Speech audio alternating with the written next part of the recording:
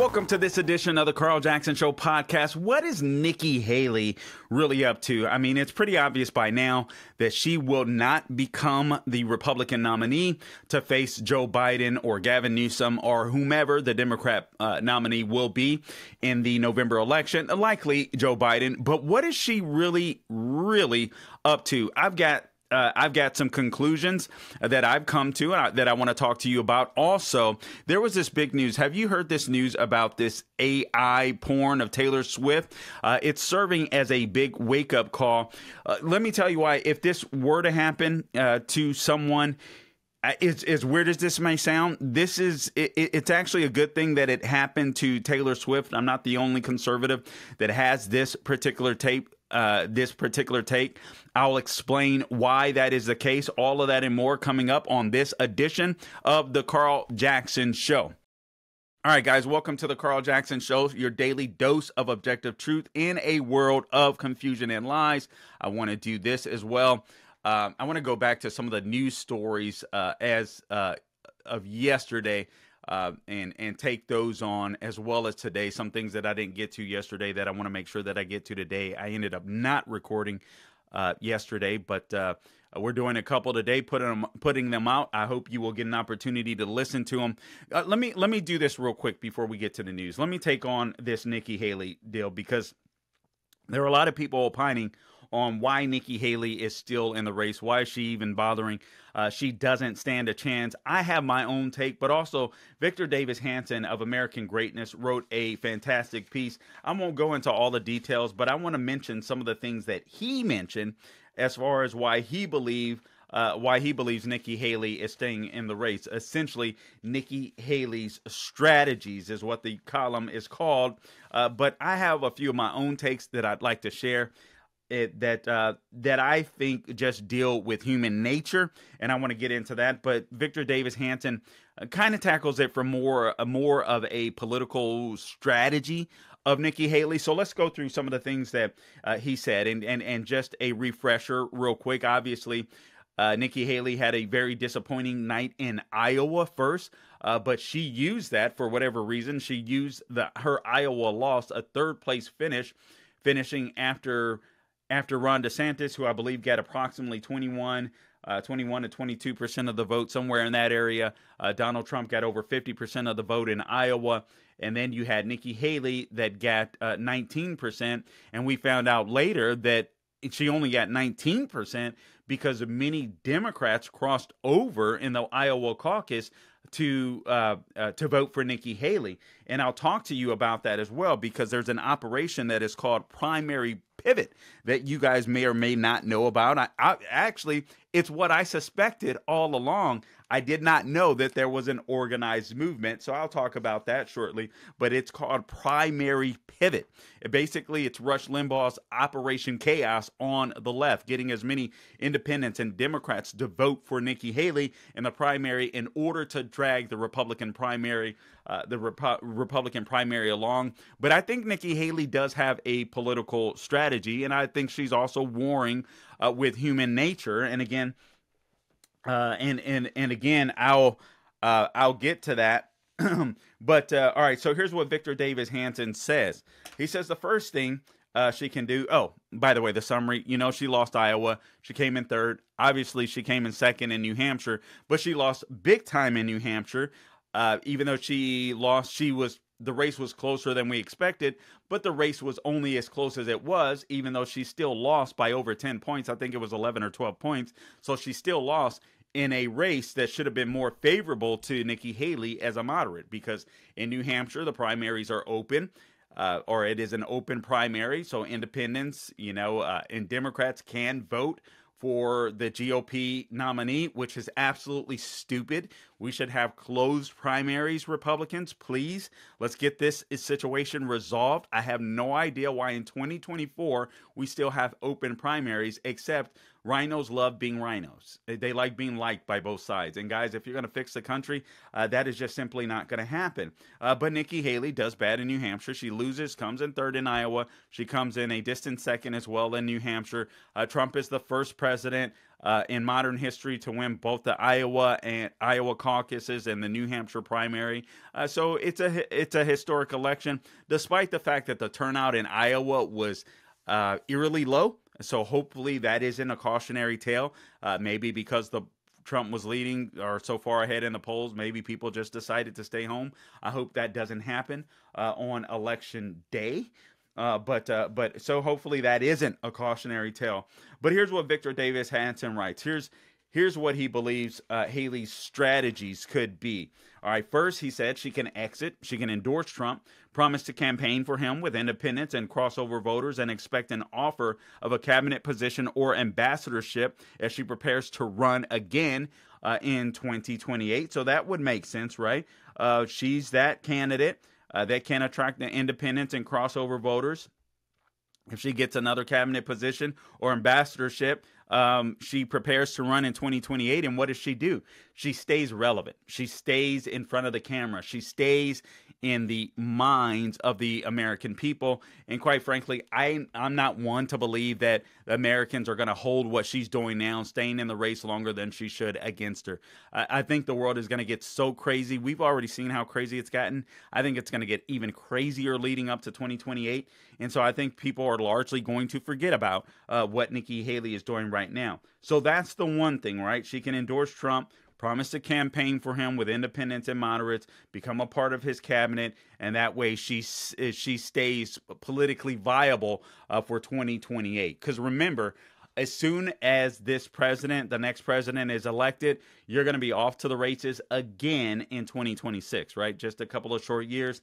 These presidential campaigns go on for a long time now. It's so it's so exhausting, but it is what it is. All right. The second thing uh, Victor Davis Hanson writes, is Haley can campaign even harder. She can raise lots more never Trump money and mimic a tactic that George H.W. Bush uh, did in his second place year long candidacy in 1980. So apparently, and I didn't, I didn't this. I didn't realize this. Obviously, I wasn't paying attention to politics uh, because I was just a few years old at the at the time, and so uh, and I hadn't, uh, I hadn't dove into that. I've read enough on Reagan and Bush, but I, I, I had not dove into that history, quite frankly. So uh, apparently, what George H. W. Bush did was he ran a years long campaign all along all along you know the entire time against uh, against Ronald Reagan who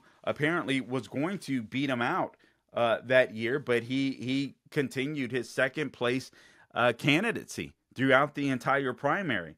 Uh, and Victor Davis Hanson writes the advantages of Bush's hard campaigning and appeal to centrists finally impressed Reagan realists. So apparently there were uh, Reaganites that didn't like George H.W. Bush, but his constant campaigning uh, impressed Ronald Reagan, and I think probably put him in a, a pressurized situation where he's like, hey, man, I got to pay attention to this guy. So Reagan was impressed by it. Bush himself won over a hesitant Reagan. He writes to the once unthinkable idea of putting the uh, aristocratic blue blood on the ticket as a balance to the supposedly hard right Reagan. Uh, so he was being called hard right. The ensuing Reagan Bush ticket smashed the incumbent at the time, Jimmy Carter, one of the worst presidents uh, in American history. Eight years later, Bush himself was rewarded by being nominated without much opposition in the primaries, and he was then endorsed by President Reagan. Now, I know that Trump and Nikki Haley are at odds right now, but I could foresee a situation like this. I hope that if Trump does become the nominee, uh, or I'm sorry, it, it's likely that he's going to become the nominee. But if he does, you know, uh, uh, become the president, I I can foresee a situation like this. I hope that he wouldn't endorse anyone. Frankly, I hope that you will allow the Republican Republicans to fight it out. Uh, but, uh, you know, we'll have to see. Uh, but he says, hey, listen, Haley might do the same, moderating her attacks on uh, frontrunner Trump as she plays the noble opponent for a few more primaries. And she plays, if she plays the noble opponent, uh, you know, then maybe uh, and, and, and lessens up her attacks, then, you know, Trump likes being praised. Let's just be honest. Let's just be honest. Maybe he says, listen, she's a hard fighter. He eventually wins a nomination, sews it up, and he might forgive her. And, you know, he says he gets even. And I, I know that can be the case. But from all I hear, from what I hear too, from people that know him well, he is, once you get to know him, he is a very forgiving guy as well. So we'll have to wait and see. But uh, Hanson writes that she that way, she might angle for the VP nomination, promising to deliver millions of centrist voters. Now, I've got to come back to this because there is a problem with that narrative. I'm not convinced that Nikki Haley is as popular with centrists uh, as as she would like to believe, and as many people believe. Um, he says such service would also uh, boost her profile in a final four-year Trump administra- administration and position her well for 2028. Or third, Haley can limp about for a few more primaries, haphazardly campaign, and slowly fizzle out. Uh, that rope a dope strategy would be to remain a backup candidate. Obviously, in case Trump is indicted, he says an inert Haley would serve as the only remaining Republican alternative to Trump on the chance he might be convicted and jailed and thus either be unable to actively campaign or wounded as the first felon to run as a major party candidate. So she could do that as the backup. Uh, listen, as bad as Biden is, I just don't.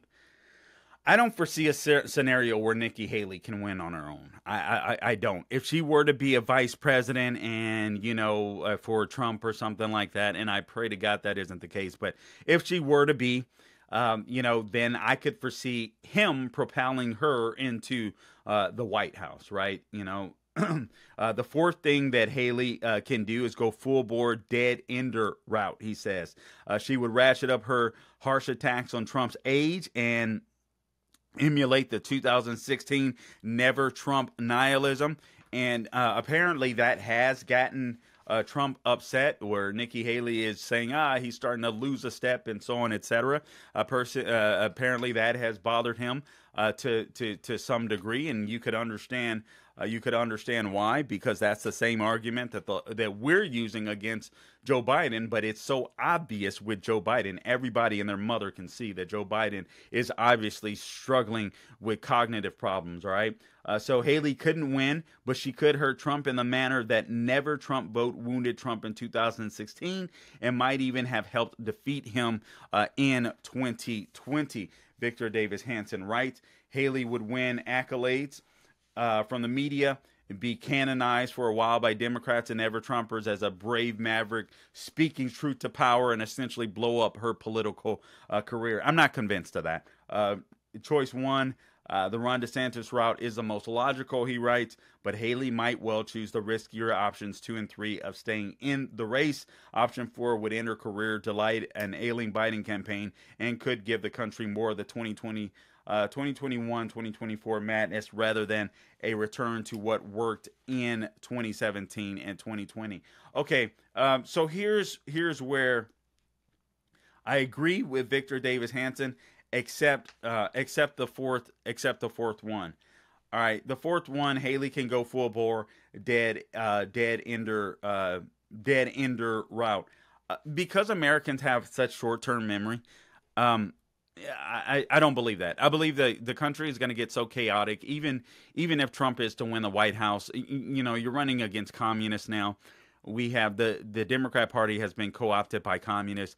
All this craziness is simply going to ratchet itself uh, uh, up. It's not going to get any uh, better. All right. So I do believe that when times get tougher, people start looking for a savior. If they're not, you know, uh, if they're not deeply religious and so technically, uh, Nikki Haley could be that savior. I believe Nikki Haley. I, I I believe just thinking of human nature, what Victor Davis Hanson writes makes a lot of sense strategically. But just thinking of uh, human nature and and and and the human spirit, is it possible that Nikki Haley is just being vindictive? I I, I mean, let's let's be honest. She's going to walk away from this campaign, uh, and she's already made a lot of money with Boeing she'll be put uh, even if she loses she'll be put on some other board somewhere she'll be hired as a consultant somewhere or she'll be, you know, hired with some company somewhere. She's going to make a buttload of money in the future. I mean, that that's sadly that's just where we are in the political realm. You get to know the inner workings of of DC a little bit, the inner workings of politics, even at a state level. You become buku rich. I, I don't I don't understand it, but it is what it is. Uh, maybe just the networking or whatever the connections that you might have knowing who to talk to, knowing what type of bills are coming down the pike. I, I don't know. Uh, but nonetheless, Nikki Haley will be very well off. Her her family will be very well off, no matter what happens in this uh, happens in this election cycle. It, could it be that she's sticking the middle finger up to the RNC, saying you never gave me the chance uh, to debate Donald Trump one on one, and so I'm taking this opportunity uh, and taking my argument straight to the people? Could it? I mean, could it be something as simple as that? Right? Uh, I, I I think I think it's possible. I think it's possible. I mean, Nikki Haley to me has proven to be a worthy politician. I mean, this is the lady that uses the uh, uses the race card. Uh, this is the lady that uses the uh, vagina card. This is a lady uh, that has literally, you know, said on on air or in a podcast and then denied it that uh, she would basically like censorship uh, when it comes to social social media or everybody to be to identify themselves where they're when they're on some uh, social media platform, no anonymity and all this kind of stuff. This is a big government lady, in other words, right? Uh, she's also a policy hawk. Listen, I have no problem. I want the American military to be absolutely strong, but I don't want us to get involved in any conflict uh, that we absolutely do not do not have to. Um, I don't want to get involved in a conflict just for the sake of getting involved in a conflict. So could it be possible that Nikki Haley is just throwing up the middle finger, right, to the RNC, to Ronna McDaniel, uh, because uh, whether you like it or not, what we're seeing is unprecedented.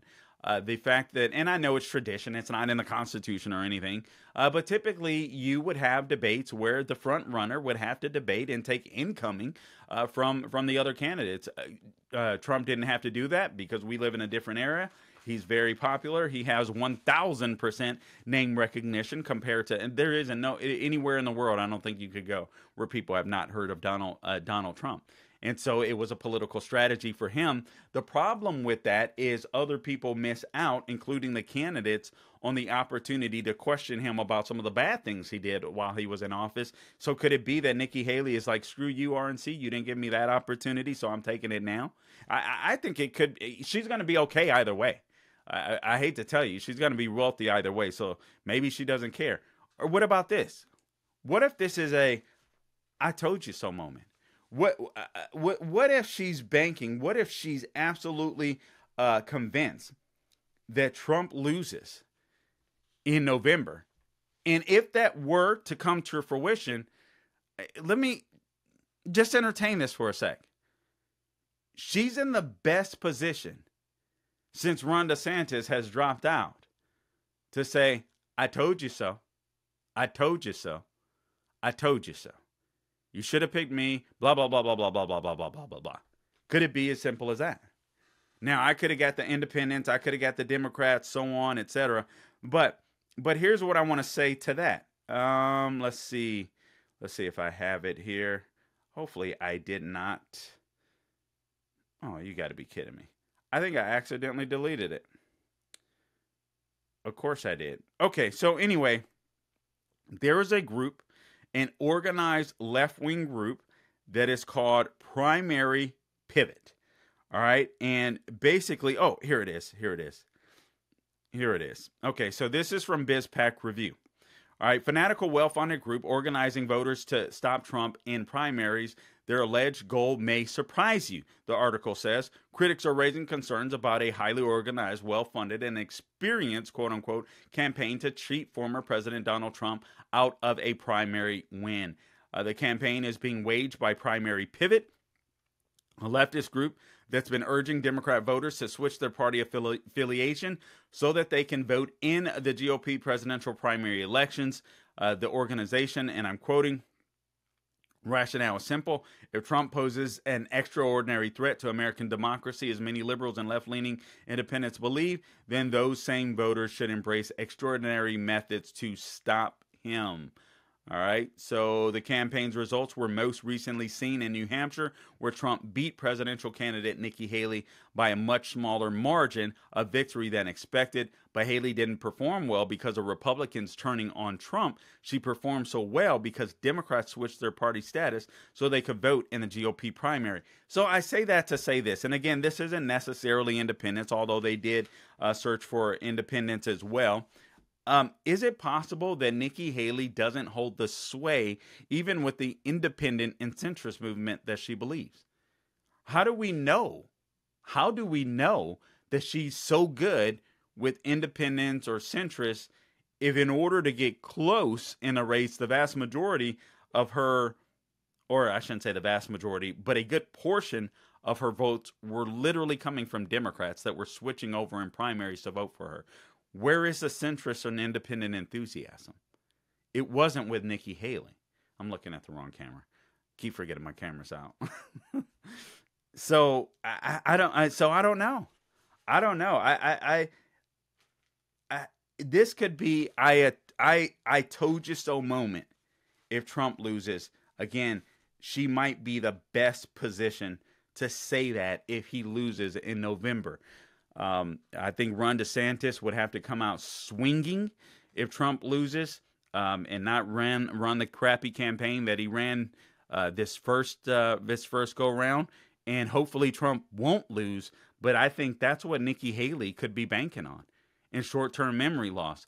If the country gets worse, becomes worse, if if Biden remains the president, if he wins reelection, you know the you know that's an administrative state guys, the world and America is going to get so bad, you might be desperate for anyone except Biden.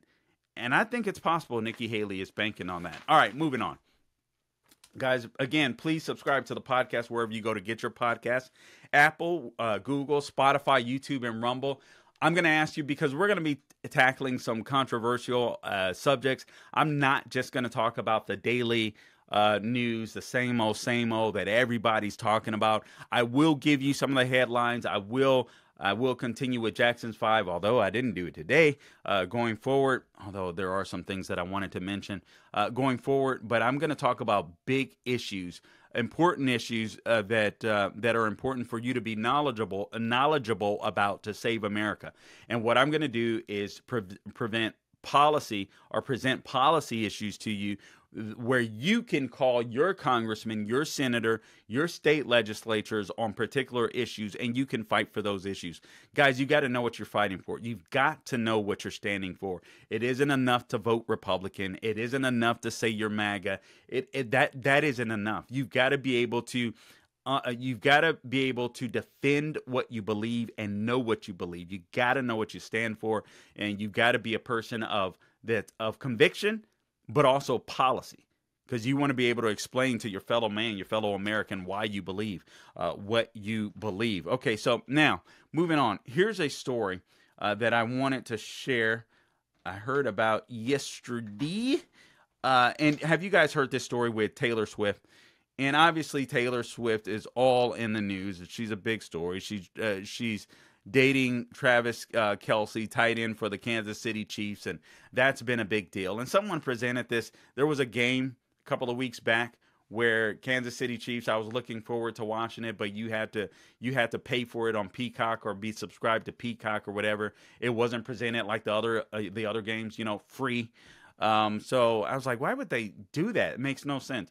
And then somebody said it. Taylor Swift is there. What it, a great strategy by the NFL to earn some more money uh, basically. And and I don't know that that that this is the case, but it made total sense to me. If Taylor Swift is going to be there, people that don't care about the NFL, people that don't care about football, are probably going to be paying attention to football, right? Since Taylor Swift is there.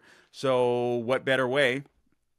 Uh, than to have people that wouldn't wouldn't otherwise watch NFL football than to have Taylor Swift fans pay. and I'm like, hey, if that's true, it's absolutely brilliant. All right, so here's something that's come out that I think is rather disgusting, and I, I it couldn't have happened to a better person. Now, I don't mean that in the way in which you think I mean that, because I listen. I don't believe uh, Taylor Swift is obviously probably the most well-known star after Donald Trump. and uh, you know she seems to be she's obviously a lefty uh, but she she seems to be a nice decent person i know she has an upbringing in christianity although uh, to me she seems lost uh, she's gotten her uh, Hollywood Hollywood worldview mixed up with her biblical worldview, uh, and and it's just it just isn't that marriage just doesn't work out uh, at all. But here's something that's very disconcerting that I think everyone should be concerned about. So an AI porn of Taylor Swift is a wake up call. Uh, this according to the New York Post. House must pass bill making this a federal crime. So if you or you or I or Gabe was featured in AI porn, uh, nobody would care. All right, nobody would care. But this is really cruel and it's really sick and it can destroy people. You know, if if, if this were to happen to somebody, a regular uh, average, you know, uh, Joe or Kelly or whatever, you know, this may ruin someone's life to the point of suicide. But since it's happened to Taylor Swift and she's all the buzz lately, this is a big deal. And more people are going to be paying attention to it that wouldn't have otherwise. So that's why I say it couldn't have happened to a better person because I don't listen. Uh, there's a lot of good I'm sure that AI can and will be able to do, but there's also a lot of bad, just like with anything else that'll come with it. You know, and and when it comes to someone's got to input AI, right? It it doesn't just take on a life of its own. Someone's got to input information. Uh, so if lefties or sick twisted people input information. Eventually, I guess if AI is kind of able to think on its own, it's going to be uh, there's going to be a worldview that's implemented into AI that just simply isn't good. I'm concerned that AI will try to wipe out biblical values and worldview and just diminish them at every step possible. I'm concerned that AI will try to do the same to American history, try to do the same to the traditional family. I'm concerned about those things and how AI will be used, I believe, to eliminate what made this country so great. That's what I'm concerned about right? But this is very disconcerting as well. Uh, but one of the things that AI can do is bring attention to problems that exist, amplify them so that they're taken care of. So now Taylor Swift, uh, apparently, pictures appeared on X, formerly known as Twitter, with uh, portraying Taylor Swift and some very a new Taylor Swift, and they weren't the real Taylor Swift, but AI generated photos and some very sexually explicit, uh, sexually compromising positions. All right, and they were circulated all over X. Apparently, Swifties, as they are they're called, uh, get uh, upset. And this article from New York Post writes like Voltron uh, fans immediately activated feeding X with praise for the singer to elevate the good and bury the sham smut into the virtual basement. Meanwhile, Swifties also wondered how there are no regulations against someone creating fake porn using the likeness of real people and dis- distributing it for the whole world to behold. I do believe there should be consequences to this. I'm not a big government guy. I, I I, I I want to think this through uh, think this through a little more, but my initial reaction is that this this can't happen. Uh, this this this can't happen, and and and and again, I, I'm I'm I'm sorry that it happened to Taylor Swift, but I'm thankful that it happened to her because I think right? She has a platform where obviously she can combat it and say, guys, this isn't me. Uh, this isn't true. But now that it's happened to her, everybody's paying attention to it. And if she thinks it's wrong, guess who else is going to think it's wrong? All of her followers, secular and all. They're all going to think it's wrong. They're all going to say, "Hey, we should do something about this." You know, and and that's one of the reasons why I we have to be careful, even I have to be careful on the right. Not everything the left does or liberals do is bad. If she can bring attention to this issue, with her mere name. That's a benefit. That's a benefit. And so I am sorry that this happened to her. I don't dislike the girl. All the Travis Kelce, Taylor Swift stuff, uh, it annoys the crap out of me. But and listen, there's a benefit to this. All right, the New York Post also writes, coincidentally, the Preventing Deepfakes of Intimate Images Act was reintroduced to the House Judiciary Committee last week by U.S. Representatives Joseph Morelle, a Democrat, and also Tom Kean, a Republican. The bill would make the non consensual sharing of digitally altered pornographic images a federal crime with penalties like jail time, a fine, or both. It would also allow victims to sue perpetrators in court. On Thursday, Morelle tweeted the spread of AI generated explicit images of Taylor, Taylor Swift is appalling, and sadly, it's happening to women everywhere, every day. It's sexual exploitation, exploitation, and I'm fighting to make it a federal crime with my uh, legislation. And I don't believe, again, if you don't consent to having your picture shown in that way, it should not be shown. And definitely, there should not be AI generated pictures of you. I think there's got to be consequences for that. Certainly, on an individual basis, there are consequences, and there should be uh, with uh, the so called revenge porn. But I would say this I would caution this too. People don't don't don't take pictures of yourself butt naked. Don't don't do it. Young people out there, listen to me. Don't don't do that. Don't do that. I, I mean, obviously AI generated stuff could pop up, but don't get yourself into a world of world of trouble, right? Don't don't do that. Don't do that for anybody. You know what I'm saying? Don't don't do that. You know, you have a boyfriend, girlfriend, you know, they're not your husband and wife first off. Don't don't create pictures for them. You don't I mean, you could be as lovey-dovey as you want to be right now. You you never know when and if things will turn for the worse and people's emotion, raw emotions get involved and breakups and all that kind of stuff, man, just just don't do it. You know, this should be a valuable lesson, not just politically, uh, not just for Taylor Swift when it comes to AI, but uh, but man, th- th- this stuff people will commit suicide and have committed suicide over stuff like this. So don't do that, guys. Just don't do it. Listen. Um. Oh, you know what? Uh, there were you know what? I'll I'll save it for another podcast. There were some things that I wanted to bring to your attention. I, I later I'm going to do a podcast on the Chevron deference case, another Supreme Court case that I think everyone needs to be paying attention to. Besides what's happening uh, at the border, uh, it's a really important case. We interviewed, I believe, one of the attorneys involved in the case over a year ago, and now this thing is becoming all the news. And so uh, I want to bring it back to the forefront, but this could be a major victory uh, for freedom uh, in the United States of America if uh, if the conservatives were to win in this Chevron deference case. So I'll get to that. Uh, also, Trudeau, apparently Justin Trudeau of Canada, uh, used false information to go against and attack uh, the truckers, you know, the convoy truckers that where they got their, uh, you know, froze their bank accounts and all this kind of stuff. Wannabe dictator. Well, court sided against him, said he took his emergency orders too far. I wanted to get into that. That was a big story this week as well, but I'll add it to one of our upcoming podcasts. Guys, listen, I appreciate you tuning in to this edition of the Carl Jackson Show podcast. Again, your daily dose of objective truth in the world of confusion and lies. Until next time, do not grow weary doing good, and God bless you.